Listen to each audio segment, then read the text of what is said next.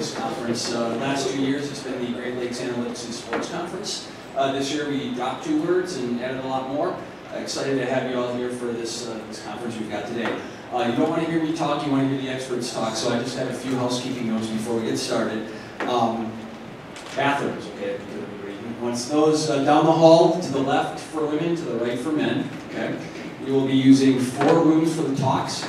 This room is the alumni room. 374 is down that way. 378 is down that way. 223 is down the stairs on the second level. You walk uh, along concourse, okay, in front of the Laird room, and then it's just around the corner. Okay, so 223 is the only room that we're in that's not on this floor. And then lunch will be in the legacy room, which is just down the hall, okay? Um, when we when we break for lunch, uh, there will be a line that snakes back out into the hallway a little bit. Just uh, we ask you to be patient. Uh, we'll work through it. Uh, while you're in there, uh, we will have some tables set up where you can learn more about our analytics program. You can learn about, about the program from our friends at Marquette and our friends at Sentry Insurance. So take time to do that. Um, the Wi-Fi directions should be on the inside front cover of your program. on the bottom left, I believe, is where we put that. So if you have any problems, uh, just check with me or Dottie or Sheila at the uh, registration desk. And uh, just again, thanks, thanks to Dottie, Sheila, uh, Marshall from Dining and Catering Services, uh, our friends at AV, uh, they've done a great job helping us pull together. So anyways, without further, further ado, I'm going to introduce uh, Eduardo Rodriguez, who is our endowed chair, uh, Sentry Insurance endowed chair in business analytics here at UWSP. So Eduardo, take it away.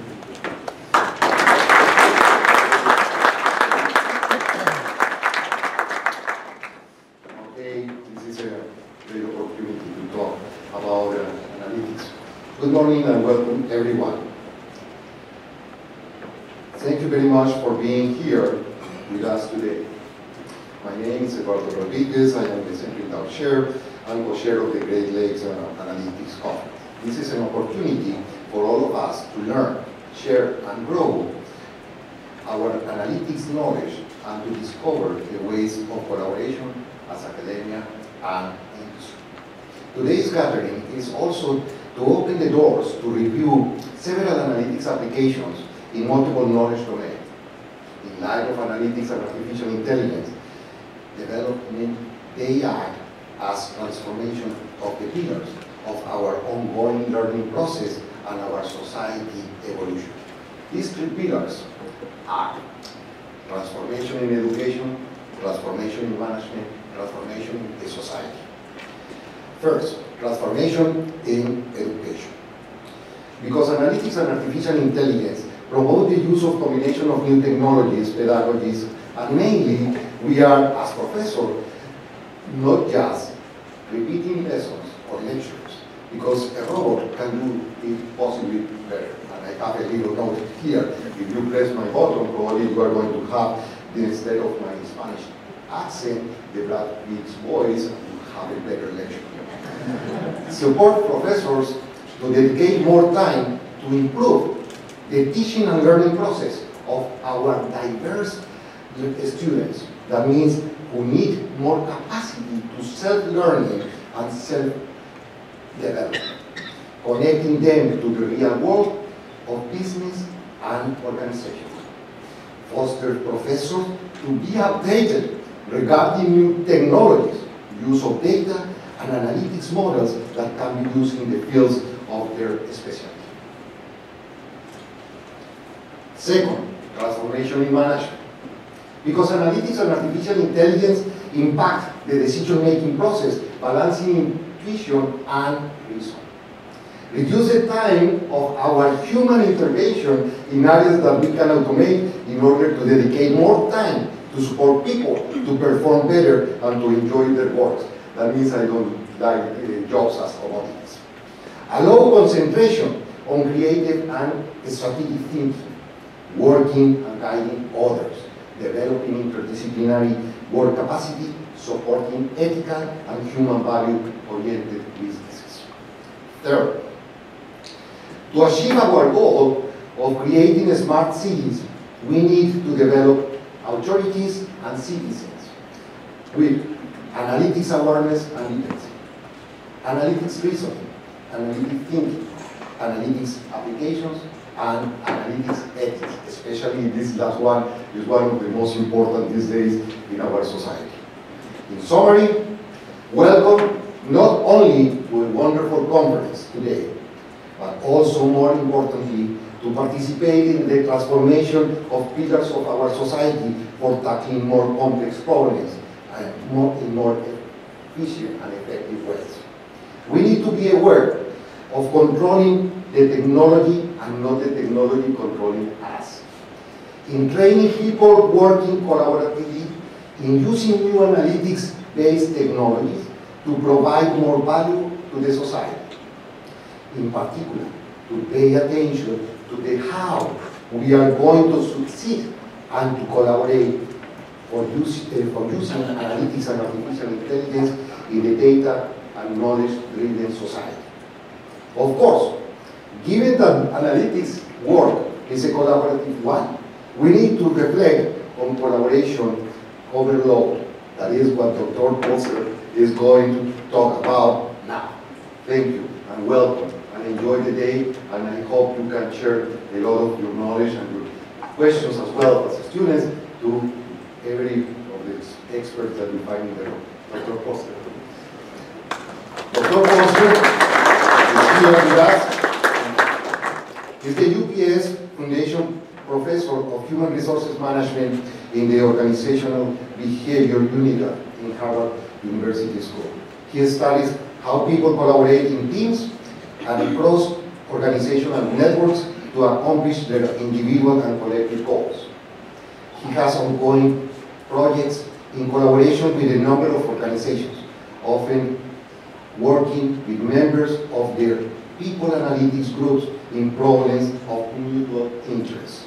He has taught a variety, a variety of courses in the MBA, executive, and doctoral programs at Harvard Business School and published his research in numerous top management and psychology journals.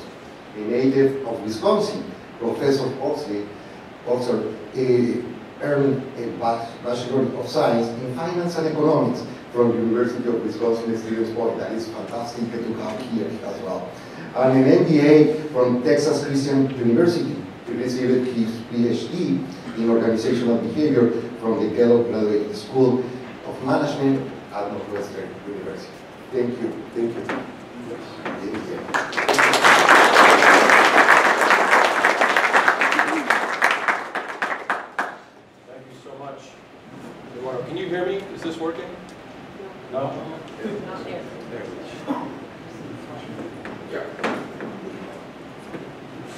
Is it working now? Yeah. Yeah. It's really working. See if I- Okay. Um, It's great to be here, everybody. Uh, I, uh, it's a nice introduction. Um, Call me Jeff, uh, Jeff Polzer. It's great to be back at Stevens Point. I graduated from here. I have to tell a little story to begin. Graduated from here in 1988. Uh, I haven't been back in, in a few years. Last night, I was driving around the campus, walking around, and I briefly considered scrapping this talk and just telling you about the highlights of my undergraduate. Some of them occurred in classrooms, many occurred down in the square. Uh, we- The problem is we would have needed a soundtrack with like Journey, REO Speedwagon, and a lot of other bands that some of you have never heard of and may not ever want to So I, I'm gonna, I'm gonna stick with the talk that I, that I prepared. Um, So, uh, let's see.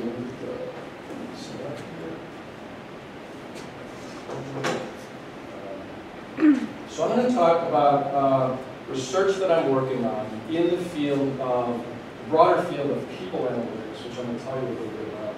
Uh, and the title of the talk is When Meetings Multiply, Consequences of Collaboration Overload. To preview what I'm going to be doing, we're going to be using data on email, uh, digital data from email and calendar systems to and, and use those data as indicators of collaborative patterns in organizations uh, and, and put together some hypotheses about how, what, what collaboration uh, uh, can do for organizational performance. in terms of helping it, but also potentially harming it if you have too much collaboration. So I'm going to be getting to that, uh, some of the hypotheses, uh, I'll briefly talk about, it, and then we'll get into the data for sure. But to begin, I want to um, just give a brief overview of this field of people analytics. Um, and let me ask, it also goes by the, by the um, uh, terms talent analytics, human resource analytics, workforce analytics, there are a lot of different, uh, uh, terms for it. How many people have heard of this field? All right, great. So close to half, uh, not everyone. Um, so I'm going to give a brief overview of the field of people analytics. There's a lot going on. Data science and big data have come to HR and management in a big way. And the wave is just beginning. Uh, so there's a ton of opportunity in this field. I've been talking to lots of organizations. I've been teaching uh, an elective course to our MBA students at Harvard Business School on people analytics. Uh, we're starting to teach executive programs on people analytics, and there's a lot of research occurring uh, in this field in organizations, in academia, and in uh, collaboration between those two. So uh, let's let's get into it. And by the way, raise your hand, ask questions, fire away at any point. Uh, I'd love to make this a little more interactive. Got a lot of material, but I'll, I'll uh, take responsibility for pushing my way through. So first uh, thing is a shout out to my collaborators, Evan. Ethan Lippett is a doctoral student in our organization behavior department in Madison, my research associate. They've done a ton of work uh, with me uh, to, to uh, make this research happen. So uh, shout out to them. People analytics, I think that as a data-driven approach to employee-related practices and decisions. Um, so lots of organizations have um, great analytics work going on on the consumer side, on the operations side, in the finance department, uh, and other spheres. And often the HR department is, has data, but is not using it very rigorously, is not using it in, in um, predictive ways, in ways that it could to improve the way people make decisions, the efficiency with, with, with which they make decisions, um, and in the ways they, they affect day-to-day uh, workflows and performance of, of employees. That's changing fast. Okay, so um, let's let's take a quick look at what is involved in um, you know people analytics. This is what I call people analytics version one.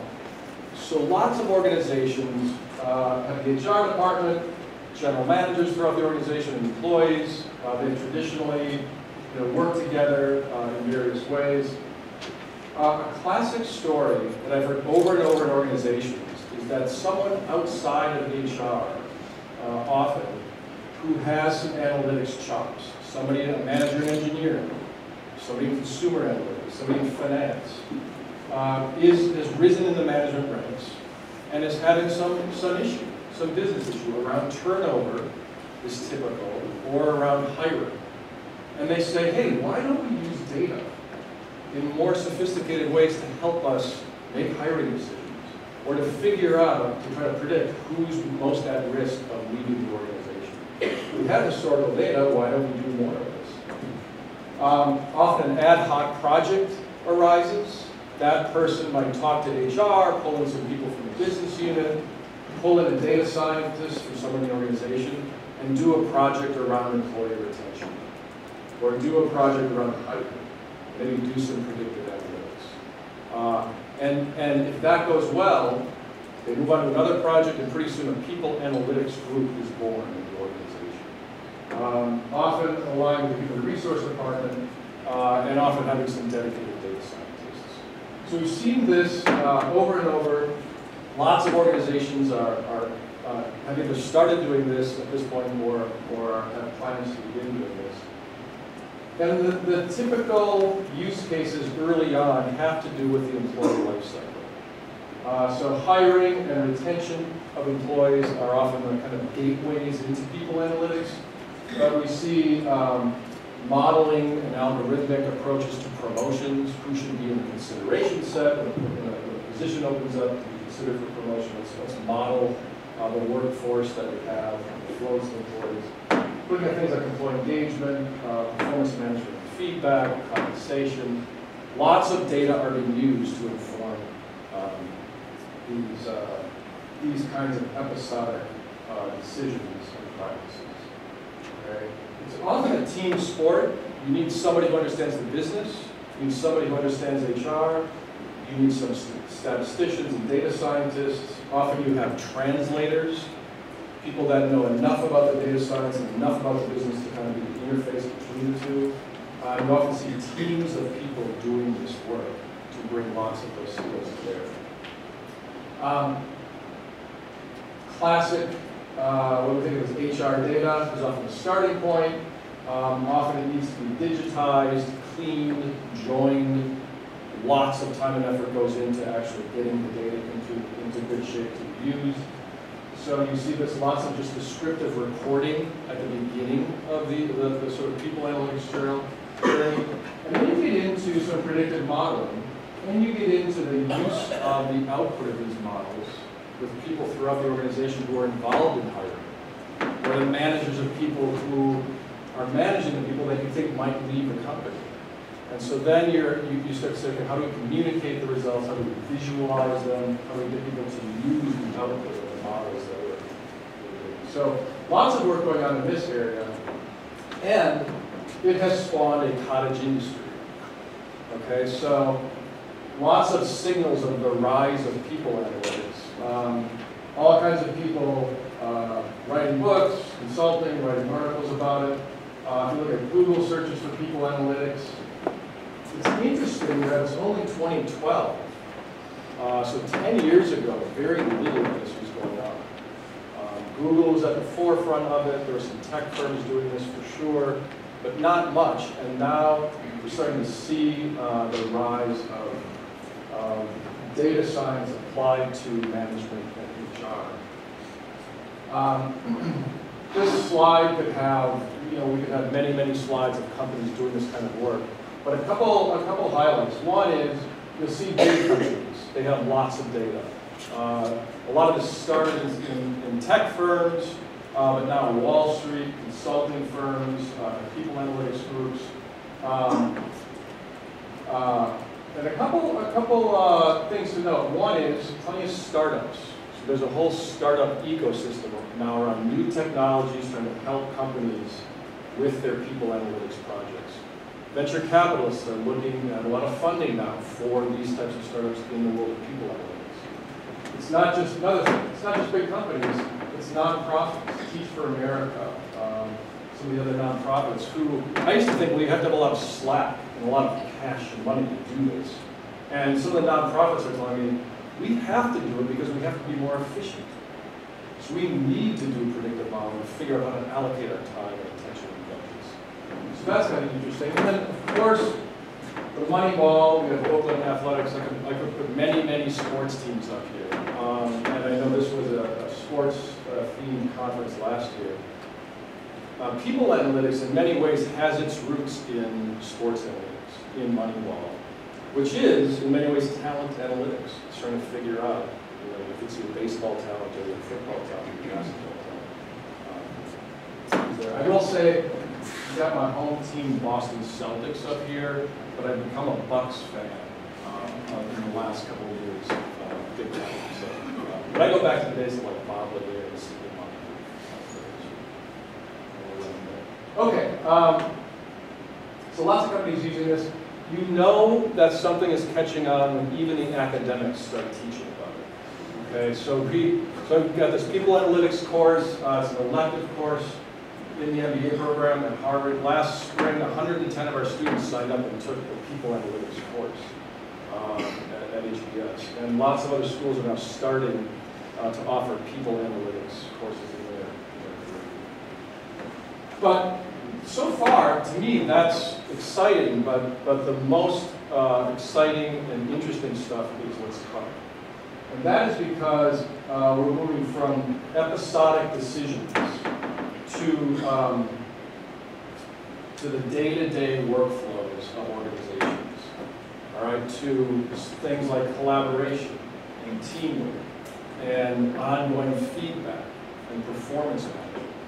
Um, these things that aren't, don't occur once a quarter or once a year, hiring, a hiring cycle or, or a, a bonus cycle, but occur every day, all the time. And one of the things that's feeding this are new digital data sources. So instead of just thinking about resumes as a source of data, or HR records, think about all of the unstructured data that we create every time we sit at a computer or go on our phone. Okay? And it clearly goes, you know, can go into the, immediately you start to think privacy issues, uh, legal issues, um, what's cool versus what's creepy. Uh, that's all in play in this new world of people analytics for sure. Um, but uh, location, where are your employees? If you have a building, you're deciding who, you know, who, who you want next to each other to work, you know, who needs to work together most. Uh, we, we can think about what are, what are the physical flow of people, what is the physical flow of people around the, the workplace. Um, any te text, chats, or emails can be mined uh, for all kinds of metrics. Uh, vocal cues, uh, we're talking about calendars today, so who's meeting with whom in the organization, how are people spending their time. If everybody's on the same calendar system, uh, you have tons of data on those uh, aspects of people's. Uh, and same with video, uh, face recognition, there are all kinds of digital flows of data um, that are, are working their way through organizations on not just day-to-day basis, but administrative basis. So this is a this is where I'm going to switch from an overview of people analytics into the research project that I'm going to tell you about. But it's it's going to tap into some of these digital forms of data, in particular email and, and calendar, as proxies or indicators of collaboration among people in firms. Um, and uh, so to do that, the research question, um, I'm going to ask, let me just make sure. Um, I have my clock here, so just bear with me for a minute, make sure.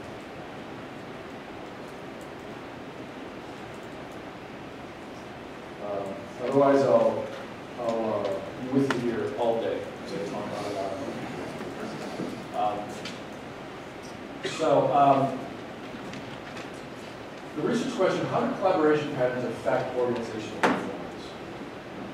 Um, the organizations, some of the organizations I've been working with are um, very interested in this question. They want to know how people are spending their time.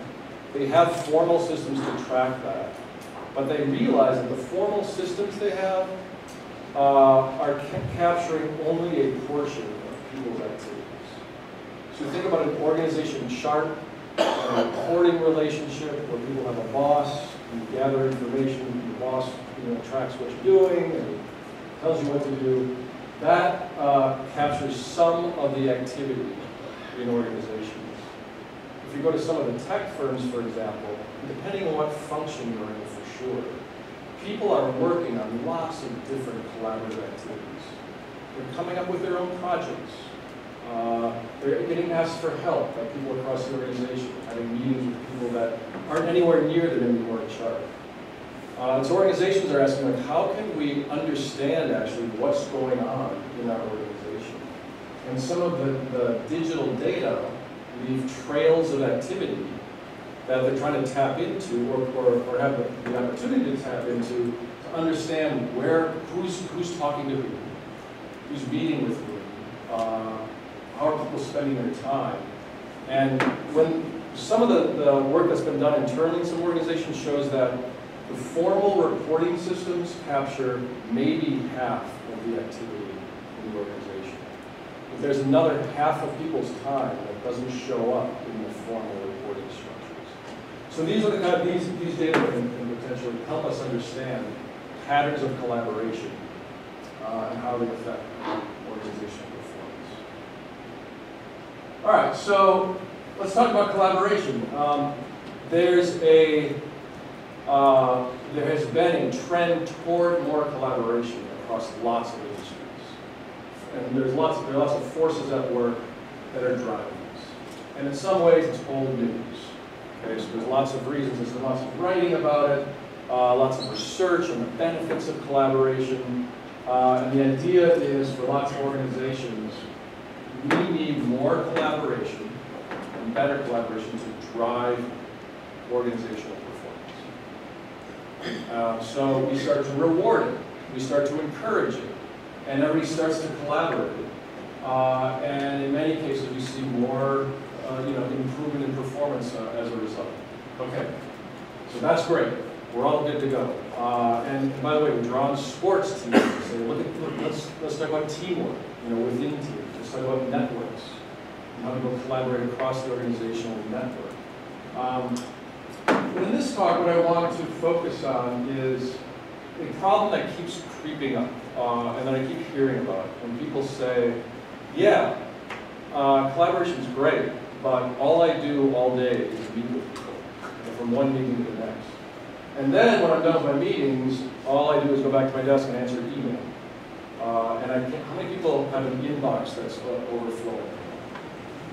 Uh, I would encourage you not to worry about answering emails right now during my talk. Uh, but you, may have time at the break to catch up. Um, so this, this question, yeah, collaboration is great. It can, it can uh, integrate our activity across the organization. Um, but how does it get done, and what are the potentially harmful consequences of it? So I'm going to focus today on two um, uh, uh, conduits of a mechanism for collaborating meetings uh, email, with the caveat that, of course, there are many different ways to collaborate. Everywhere, everything from hallway conversations to formal reporting uh, um, mechanisms in organizations where people need to write up reports, tell other people what's going on. There are uh, collaboration platforms, uh, web, web-enabled platforms, all kinds of ways to collaborate. I'm just focusing on these two for today. Uh, but we'll see where we can get with these. And there's lots of research uh, and writing, of course, on the benefits of meetings, why they are really helpful for important decisions. On the, the benefits of email, for being able to correspond to people quickly across you know, a wide geographical range. And, um, and, and obviously email meetings are everywhere. Okay, so these are great. The question is, are they helpful? Uh, and if we go from our previous slide saying collaboration uh, improves performance, and meetings and email are two common mechanisms for collaborating, then it should follow that more meetings and email improve performance. Um, but you can see where I'm going uh, with the idea that, you know, what, what are the limits to, to more and more meetings and email and collaboration?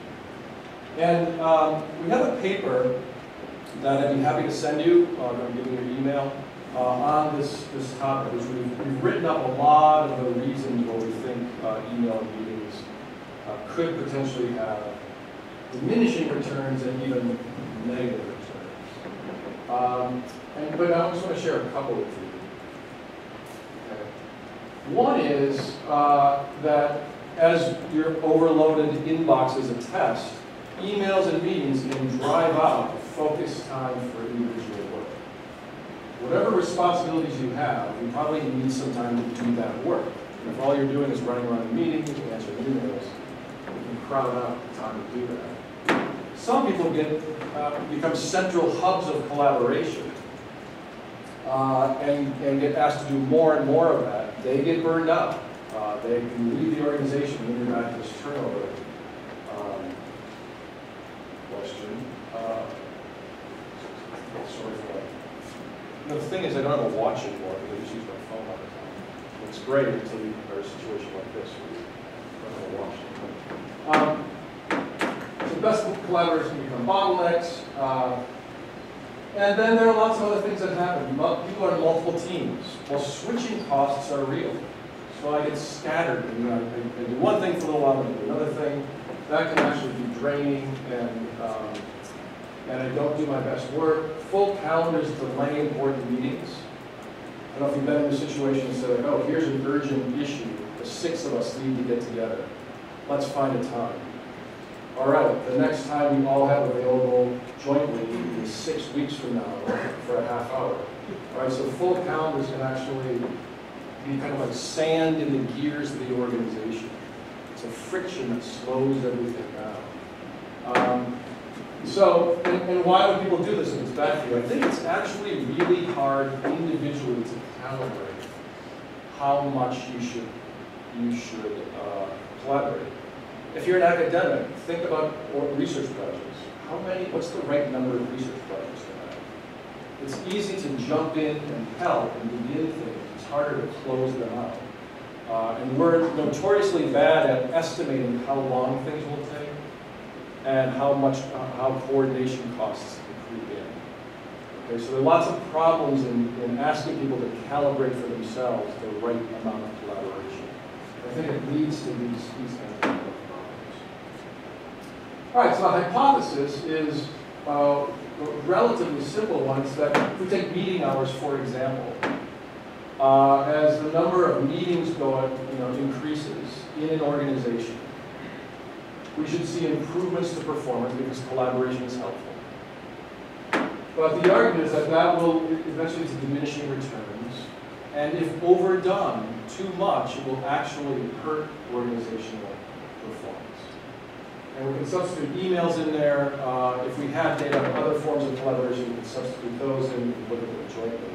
The basic idea is that collaboration is good up to a point, uh, and then uh. Okay, get into the methods.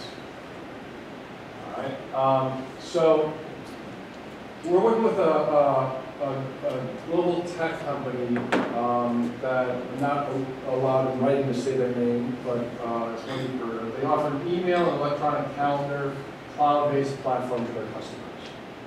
So lots of organizations use their platform for their email and, uh, um. All right, so we, from, they have, they have um, hundreds of thousands of customers, and we formed a collaborative data sharing agreement with them. Uh, as an aside, it, took a couple of years to put this in place with Harvard's Office of General Counsel, working with their lawyers, with our institutional review board, working with them, uh, because these are sensitive data for sure. And so you'll see that in the second bullet point, the word de-identified is in there multiple times. To stress the idea that we took lots and lots of pains to make sure that we were using the data in a responsible way. And yet in a way that we can learn something from the fact that all these data are, are, are out there. So they provided us calendar and email data at the level of the firm, and I'll tell you about that, uh, for the year 2016. We just got data um, 2017 and 2018 that we're in the process of analyzing. Data about 2016.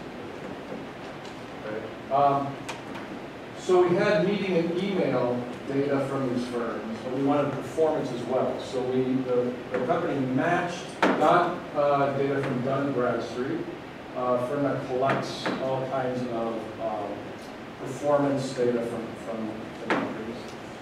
We got firm revenue, employee count, and some other things like industry uh, um, that firms are in from Dun Bradstreet. The, the tech company matched these data with their email and calendar data, de-identified all of them, and then the data.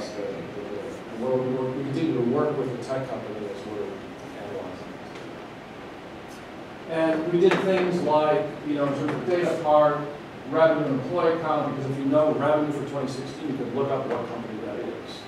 Uh, so they took the sample they had, logged revenue, and then mean it as a technical detail, which, which that means that we can't look at a particular firm revenue number for one observation and know what company it is. So um, lots of steps are taken there. Essentially what we're doing is using digital data to measure collaborative activity at scale.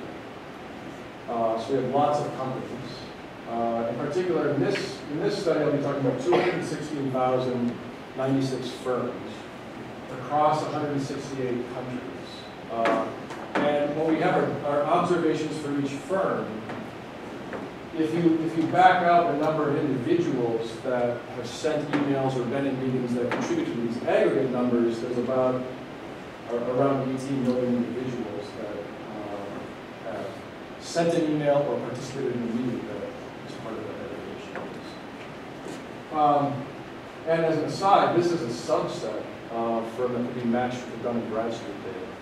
Uh, There are over, well, this one company has, there's over a million firms that use their platform. Uh, So it's, it's pretty mind-boggling amount. of- For, for, anyway, for somebody in organizational behavior at business school, who's used to doing social psychology experiments, I know you guys are using big data in lots of ways, but for me, this is kind of astounding. Um, And I'm learning all kinds of new things about how to actually analyze data like this. Um, I'm looking forward to today's sessions to help me. uh, um, So just quickly, some um, descriptives. Uh, It's interesting, uh, you can see these are, have been standardized. Um, Email sent per user per week is the metric. 21 on average across all 200,000 firms. Meeting hours per user per week, the mean is only three, which to me is like way low. Uh, When you talk to these people, it turns out there's huge variation across function, across industry, across country. We're starting to tap into those sources of variation to understand different patterns on how, how do people think about meetings as a way to collaborate in different uh, industries, countries. The average meeting size across all of those companies is 5.8.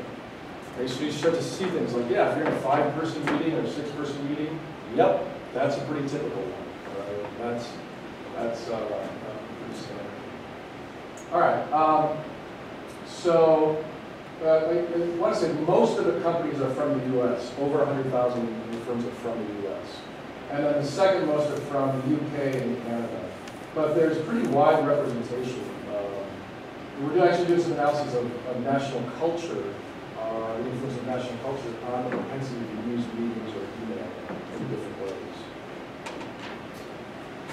Okay. Um, let's see. So the analytical approach, just to dip into this for a second. So the outcome is firm revenue. This is cross-sectional. We have causality issues for sure, um, but we're looking at relationships through it. Uh, and, and we're trying to see what we can do about getting some longitudinal data. But for now, we've got firm revenue for 2016. And then our, our key independent variable, for example, this model is meeting hours per user per week.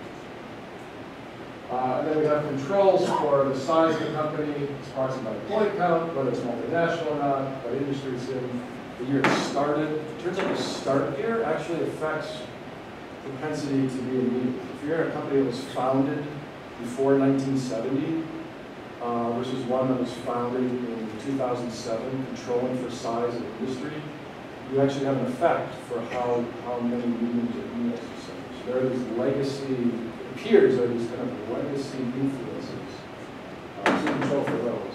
Um, and again, just to go into the, um, the details, we're, we're looking at the main effect for meeting hours and a, a quadratic or square term for meeting hours. To, to look at this inverted U-shaped uh, effect, this curvilinear effect.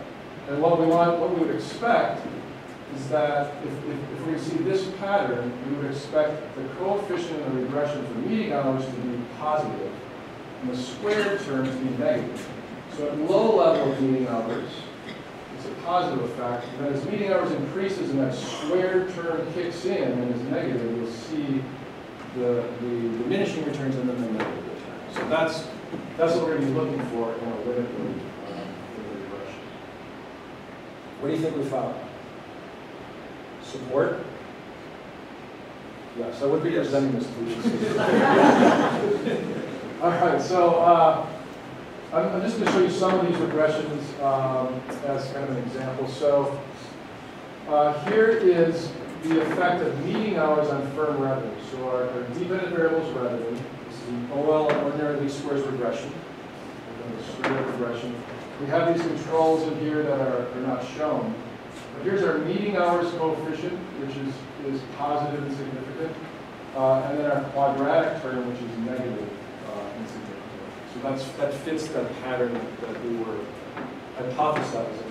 Um, but it leaves a question of what does this actually look like? So the, the, the graph of this um, um, regression equation, uh, it looks exactly like this. But My apologies, these green lines for some didn't show up all the way through.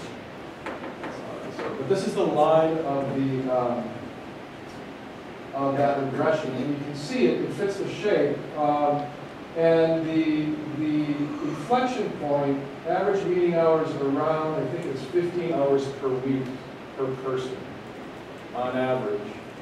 Overall, across all these numbers is when you start to see, you've already had diminishing returns at that point, and you start to see. Yes, questions? Curious, since this goes all the way up to 40, in your observations, how many companies were you having? Yeah. 20 to 40 meeting hours per employee per week? Yeah, not many, but uh, I actually have a scatter plot. uh, So, um, thank you. Yeah, good question, but, you know, not that many, but because the sample's so big, you actually have, you know, quite a few companies. What's that? I said having any at all over there.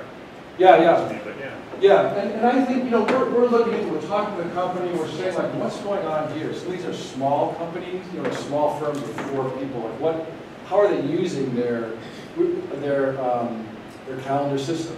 You know, like, is this just some aberrant data?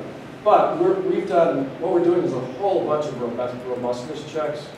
So you can look at each decile of meetings of, of employee size, employee count. And this curvilinear effect seems to hold in each decile, so even for just the big firms, we still see it. Um, and, you know, you get different inflection points and things like that, but, but the, the pattern seems to be pretty, uh, pretty robust. And we describe all of these different tests we've done in this paper in the appendix. Uh, If you need, if you need help getting to sleep tonight, I recommend the appendix. Uh, All right, so let's look at emails. Um, the uh, same pattern, you get a, you get a significant effect and a, um, a negative uh, square term. If you look at the um, curve here, uh, you see the the inflection point is around 100 emails sent per person per week. So you think, oh, that's a lot, but then five working days, that's 20 per day. It's not that, uh, you know, for, for lots of people. Um, And one thing we're doing now is getting more data on the dispersion within companies. Because part of what we're hearing from our data providers is that when they talk to their customers, they say, well, there are lots of use, lots of employees with email and calendar accounts. Some of them are in a manufacturing line. They have virtually, you know, very few emails. But then if you go to sales force or the managers, they have way more. So there's a lot of dispersion that we're trying to understand, uh, because this is just the overall average. So um, the next thing we did was we said, well, what about, what if you combine meeting hours and emails? Like it might be the combination of lots of meetings and lots of emails that really uh, cause a problem. And so we, we controlled for the effects that we just saw, which still are, are significant. It's obviously huge sample size. And then we interact these to look at both uh, the inflection point, whether that changes, uh, when we look at meeting hours and performance, based on the number of emails, and the steepness of the curve. And uh, both these are significant. I'm going to show you the chart of this. So this is average meeting hours per person per week on revenue, same as that first graph. But now we've divided it into firms that are relatively high on email sent, which is over low on email sent. So the, the problem becomes worse for meeting hours when you're in an organization that also sends lots of emails. So if you're high on emails and high on meetings, that's when the overload especially damages performance. The inflection point now is less than that 15 hours. Uh, I think it's around 12 hours. When we start to cut the data in different ways, and we start looking, at industry now as well, you can see this problem is not the same everywhere. Uh, and, uh, so that's, that's. So the last effect I'm going to show you is um, on multitasking. And so I mentioned before, if you have emails, you know, hold off on, on answering them while you're in, the, in this talk. Well, it turns out lots of people actually respond to emails while they're in meetings. I know none of you have ever done that. Okay, I certainly haven't. maybe once. Uh, But um, these emails and meeting hours are all timestamped. Uh, So you can look at the, the the propensity for people in a firm to send emails during meetings. Okay, so the data provider, we worked with them, and they did a data poll where they did just that. They, they looked at each meeting and said of the people in the meeting, how many of them sent emails that were timestamped during that meeting. We'll call that multitasking. All right, so identify email sent during meetings, and then for each meeting, measure the proportion of people who sent emails during that meeting. All right, uh, and then average for each meeting of a proportion, and average that across all the meetings in the firm, and see whether that um, affects. And you can make a case, as some people have made, that, look, this is a matter of efficiency. I'm sitting in a meeting, there's a part of the meeting I don't really need to do. pay attention to, or I can pay attention while I'm sending emails, it's more efficient. Okay? It's also distracting potentially. There's a question whether you need to be in that meeting if you don't need to pay attention. Um, it can be distracting to others. It can also potentially have a second order effect of creating a norm in the organization you can be at meetings, but you don't have to be fully engaged. And if that takes hold, uh, you know, that could be another mechanism through which this multitasking behavior actually starts to hurt performance uh, at kind of a micro level and, and, and at, a more global level. So we used our, looked at our measure of multitasking. The main effect was positive. Uh, we put it in square term, it was negative. Uh, this is controlling for meeting hours of email, you the, number of emails. Um, and you see that after a little bit of a rise at the beginning, uh, there's uh, a negative effect where you have too many people in too many meetings sending emails while they're proceeding.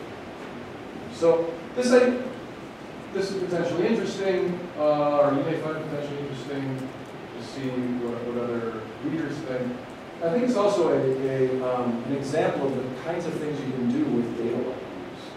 Is that you, there are lots of parameters that digitally you have access to. And, and the question is like, well, what are the issues we think are going on in the organization? What's interesting from a research perspective? And how can we use these types of measures to get at these questions in new ways that we weren't able to do before? Okay. Um, so you see some support for this idea of collaboration overload. Um, right now, we're, we're, we have meeting hours, but we know the size of meetings, how many people were there, we know the length of meetings, and we know the number of meetings.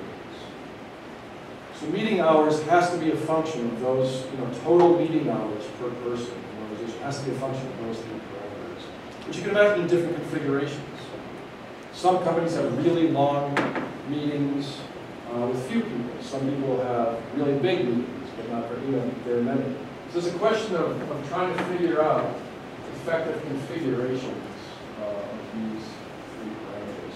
And Evan, uh, the doctor student worked with, is, is using some um, random forest models and some machine learning techniques to try to sort out the, um, the kind of landscape these parameters in terms of what, you know, what are configurations that work best. Um, so, uh, we're, we're gonna. One thing we're going to look, try to is look at internal network structure, uh, and how, you know, how clustered are people in terms of their meetings versus meeting people across the organization. Um, but I also want to think about team and individual levels of. So this is high level, aggregating the firm. To me, it raises tons of questions about what's actually going on in these firms. And we're working with a couple of individual firms to look at more uh, uh, kind of micro patterns of interaction among individuals and within teams to see what does collaboration look like at the, you know, for individual people that are experiencing it and for the teams that are. To try to gain more insight into this. Yes? What happened if you change your target variable from revenue to like net income or some measure like that? Because to me, just because I have revenue, doesn't mean I actually made any money. I Yeah. could have lost a lot of money. Yeah, So- great, yeah, great question. We're, um, we're actually looking into, uh, getting other metrics of performance for exactly that reason. Uh, and we started with revenue, and we actually, we we also got a productivity, which is revenue divided by employee count, uh, which is something that I think economists use, and some colleagues suggested that. But we're, but this question has come up before exactly, and so, okay, let's, let's, let's also branch out. Yes. First, as somebody who's about the same age as you, I've got to compliment you on your restraint in using the word collaborate so many times without referencing Vanilla Ice. Uh, Because that was just running through my mind the Hey, whole time. all right. Um, We've got a little vanilla ice breakout. over there. Yeah, thank you, thank you, we'll stop collaborating and listen later. Um, The second question, do you see a distinction, or have you thought about creating a distinction between in-person meetings versus virtual meetings? Because I wonder if that would uh, affect the variables at all. Yeah, yeah, we, we're, we actually have data from another company on, um, teams. And what we've done, they, they surveyed all their teams on some of the team dimensions. And what we did is, let's take that survey data, and for each individual team, we, we went back six months and gathered calendar data for those individuals. Um, and said, okay, how many meetings did occurred on different subsets or the whole team or individuals? And part of that is to say, where did the meeting occur? And, and um, how many rooms, or how many locations are included in the meeting? So it's, it's, we're, you know, trying to get at that kind of thing, say, are, are people co-located? Are they interacting virtually? And how does, you know, how does that fit? So, lots of possibilities there. there as well. Yes? The thought that comes to mind is I have meetings on my calendar all the time that I don't go to, or meetings that are stacked where I have three different meetings I'm supposed to be in at the Yep. same time. It's your forty hours a week of meetings. Well, yeah, and, and so meeting, we initially started using meeting count, and we realized that so many people are double booked and triple booked, that the meeting hours metric, uh, which is explained in the paper, what we did is we, the, the data provider went through, for each person, they said, okay, let's look at every minute of their week, and ask, is there a meeting booked for that minute? And whether it's one meeting, two meetings, or three meetings, all we're just doing is saying, is that meeting up by the meeting? So, so double and triple booking is another thing that, that I think we're dealing with when we start looking at meeting times. Jeff, two more, two more questions. Two more questions? Okay, great. So it's indirectly related to collaboration, but are you looking at the total number of hours worked a week? Because um, it's actually not unusual to be in meetings for 40 hours a week because you're working 60. Yes, And that impacts productivity in Yes. as well. Yeah, totally. And, and and one thing we have with timestamps, uh, in fact, the company with their customers is starting to provide them with a metric of, um, um, I forget what they call it, but it's, it's emails sent and meetings attended outside of normal working hours. And the company can define, okay, like eight to five, nine to five, when it's those, five days a week, those are normal working hours. How much of this activity is occurring outside of those meeting hours? Is that associated with employee burnout, disengagement, uh, you know, et cetera? So you can use those timestamps in lots of interesting ways to look for patterns like that. Yes? Were you able to look at, um, for the people who send emails and meetings, how many, what percentage send emails to other people in the same meeting? Uh, we haven't looked at that. I like that. Yeah, there's a lot of possibilities, for that kind of thing. On on that, actually, text messaging one another in a meeting. Yeah. I've, more common. Yeah, and it might actually connect to virtual meetings too, to say like, you know, in, in bigger meetings. So when you have a bigger meeting and you say like, hey, I have something to say, but I can't get it in because somebody else is dominating the airtime. They will just fire off an email or a chat message. So the, the digital world we're in, all of that uh, is traceable. In fact, some companies are looking at meetings with, heard of Alexa at work. Well, not just the written texts and emails during meetings, but also to say, let's look at airtime. You know, let's, let's look at who's talking when. And it can immediately, again, you get into privacy and, you know, all those kinds of issues. But these things are all now possible in the world of people analytics. And um, to me, it's a fascinating world. It's, it's been uh, a pleasure to share some of this with you now, and I look forward to the rest of the day. And I'm going to put my, um, my thank you slide in, in the purple and gold of UWC. Thank you very much.